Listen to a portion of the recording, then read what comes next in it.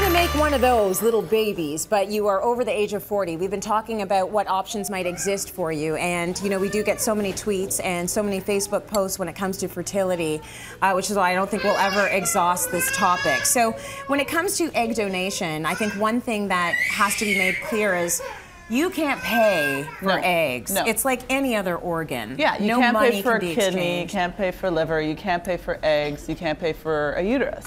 So in Canada, again, this Assisted Human Reproduction Act stipulates that you can pay for receiptable expenses related to the cycle directly or indirectly.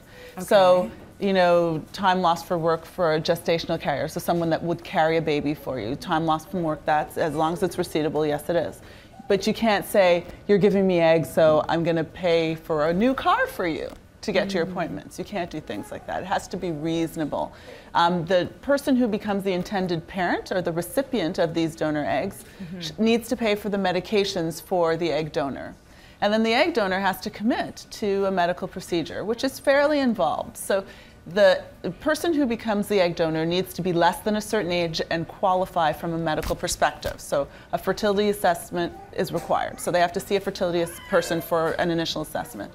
Then they have to commit to approximately six to eight weeks. There's part of it is preparation for the cycle.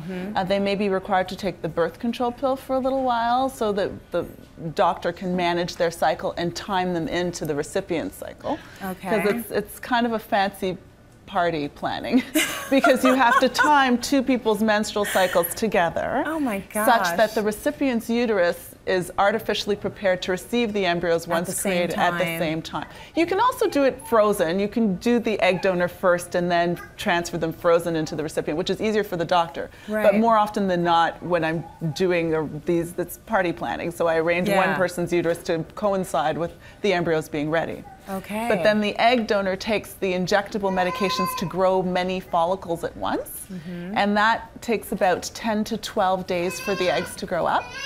And then they have to have the procedure, which is a surgical procedure, and there are risks inherent in that as well. So Okay. they can bleed.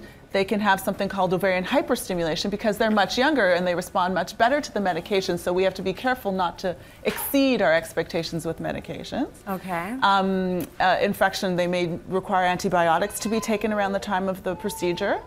Um, so all of those things have to be taken into consideration. And then the surgical procedure itself is under conscious sedation. So you know if someone goes that's dislocated a shoulder and they get an intravenous so the doctor can put it back. Same kind of medication. One thing makes you calm, and the other thing is a painkiller. It needs to be administered intravenously. So they get an IV get put an in, IV. and then there's also some local anesthetic that gets injected into the top of the vagina. Like when you go to the dentist, they put it in your mouth Yeah. to freeze you before. Same idea, but different hole. okay. And uh, just the truth. It's the truth. And then um, under direct ultrasound guidance, the Yeah. Uh-huh. eggs are retrieved. And it's kind of like being on the, uh, you know, Discovery Channel a little bit because I can actually tell the individual this is as many eggs as are coming out of you. We count the eggs. We hand it off to the embryologist who looks at the follicular fluid and eggs real time. And by the time that that procedure is over, the recipients know how many eggs that they have and what will technically be working to fertilize. And then we have to grow them up in vitro for five days to the blastocyst stage. So once the egg donor has gone, undergone the, the procedure, mm-hmm. their job is pretty much done. Mm-hmm. So it's a commitment of about six to eight weeks, and then seeing a doctor and doing all that. And then once the embryos are created, the recipient, the older woman, then has a transfer, which is like kind of like having a pap smear. A speculum goes into this, to the Way less involved. Way less involved. It's way easier to be the recipient of egg, an egg donor cycle than to have to go through that whole procedure themselves. But now let's talk about the success rate. Well, exactly. So the success rate is much greater. So remember, before I said after 43, it's you know at the most five percent, most generally less than one mm-hmm.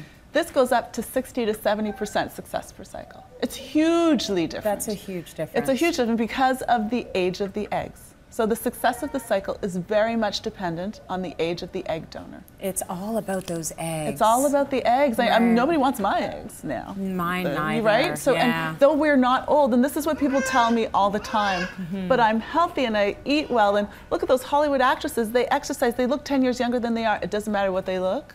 It doesn't matter what you do. You yes, it's good for you to optimize yourself for fertility. Exercise, eat well, don't smoke, don't drink alcohol, minimize caffeine, but you can't change nature. we can only work with what happens in nature. We can't Mm-hmm. improve upon it no matter what we do unless we use different eggs. Okay, good lesson. Let's go to break. More time.